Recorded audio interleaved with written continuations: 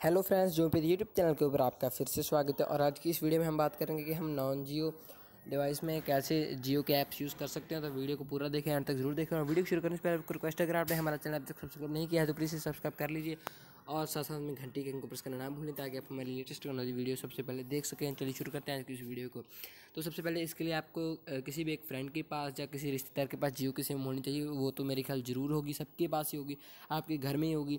तो जियो की apps use करने के लिए आपको उनकी सिम की ज़रूरत है और उसके बाद आपने वो ऐप कर लेने जिसमें आपने जियो का जो टीवी देखना है। तो मैं जियो टीवी कर लेता हूँ, उसके बाद आपने इसे कर लेना ओपन ओपन करने वाला यूज़र नेम पासवर्ड डाला है बट हमारे पास पासवर्ड और यूज़र नेम में नहीं है और स्किप साइन भी नहीं कर सकते हम, क्योंकि ये क्योंकि ये हम हमारे पास जियो की सिम नहीं है, जो ये डिटेक्ट नहीं कर पाएगा।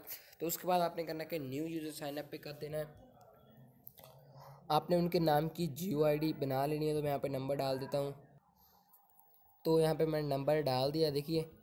और उसके बाद आपने पासवर्ड डाल के सारा कुछ करके साइन अप कर लेना है और उसके बाद आपने जो ये है वो कंप्लीट प्रोसेस पूरी कर देनी है और आप कहीं भी चाहे माई जियो में, चाहे माई जियो टीवी में, चाहे कोई भी जियो के ऐप में आप लॉगिन कर सकते हैं बिना जियो की सिम के और बिना अपने मोबाइल को फोर जी में कन्वर्ट किए हुए। तो अगर आपको वीडियो सिर्फ़ लाइक करें, मेरे चैनल को सब्सक्राइब करें। धन्यवाद।